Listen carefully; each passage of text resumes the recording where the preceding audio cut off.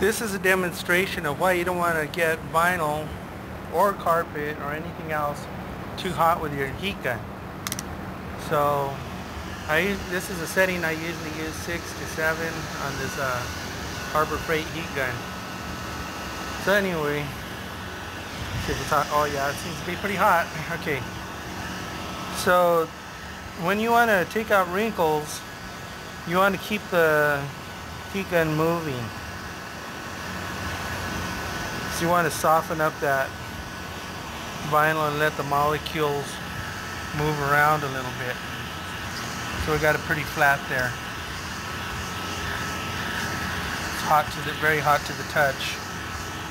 Okay, so that that's keeping the heat gun moving.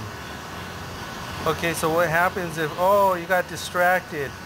Somebody walked into the room and you're holding your gun uh, in one place like that and you're turning back around and the seat that you just finished kind of looks something like that.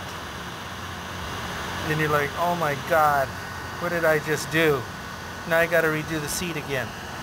Okay same thing with carpet. This is what happened to carpet like if sometimes you'll have a carpet piece onto the back of a seat and you're doing the same thing you're heating it up and you say oh okay so oh somebody walked in the room I got distracted okay so that's what happens to your carpet vinyl combination right there.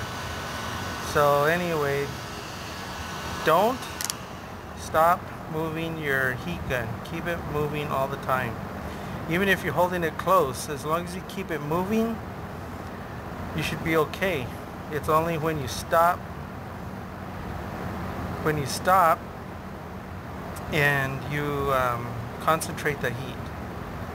So if you guys learned something new or you thought this was valuable information, please do me a favor hit that like button and subscribe. And I got a lot more of these videos coming. Till next time, see ya.